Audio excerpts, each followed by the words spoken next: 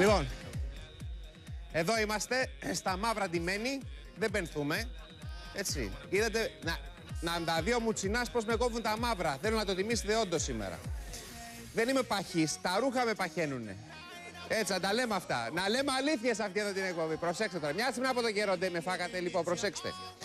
Αυτό εδώ το χαμηλό βαρομετρικό που βρίσκεται στον κόλπο του Λέοντα. Δημήτρη Ουκαρέζο, πού είναι ο κόλπος του Λέοντα; Ο κόλπος του Λέοντος, νότια Γιώργο. Είναι στη Μασαλία λοιπόν ο κόλπος του Λέοντα.